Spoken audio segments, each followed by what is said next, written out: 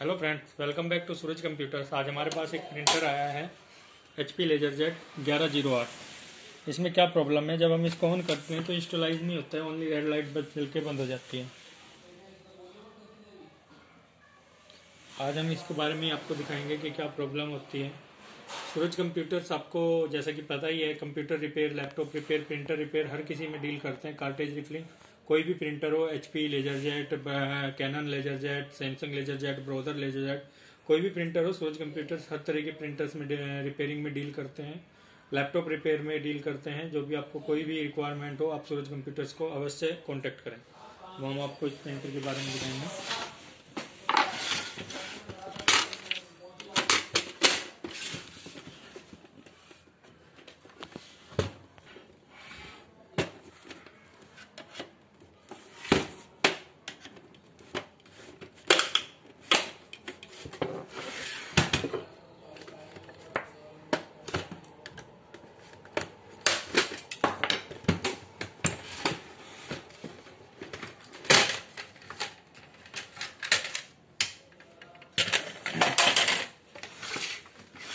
Yeah.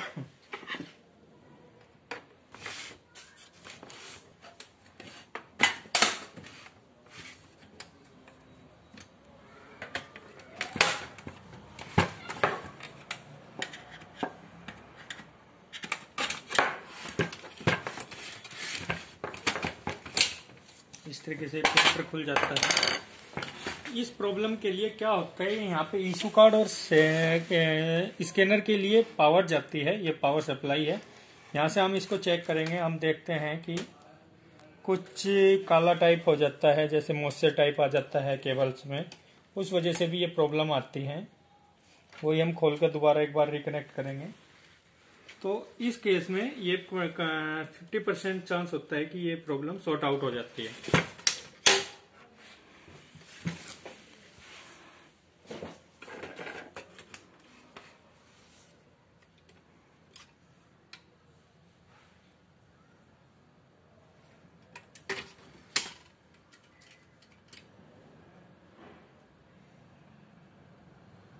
नहीं हुई है। तो इस कंडीशन में ये स्कैनर खराब है प्रिंटर का।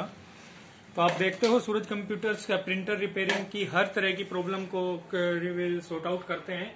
सूरज कंप्यूटर्स का सेटअप खुद का सेटअप है, वो किसी ऐसे नहीं किया यहाँ, आपके यहाँ से प्रिंटर उठाएँगे और किसी और के यहाँ पे जाके ठीक कराएँगे। सूरज कंप्यूटर सारा काम अपनी ही अपने ही शॉप पे, अपना पूरा एक सर्विस सेंटर बनाया हुआ है द्वारका सेक्टर बारह में। वहीं पे काम होता है, पूरा आप देखोगे, ये हमारे सारा प्रिंटर्स का होता है। तो इस प्रकार सूरज कंप्यूटर प्रिंटर के प्रिंटर की हर तरह की सर्विस देते हैं। आपको कोई भी रिक्वायरमेंट हो प्लीज़ एक बार सूरज कंप्यूटर्स पर अवश्य आप कॉन्टेक्ट करें।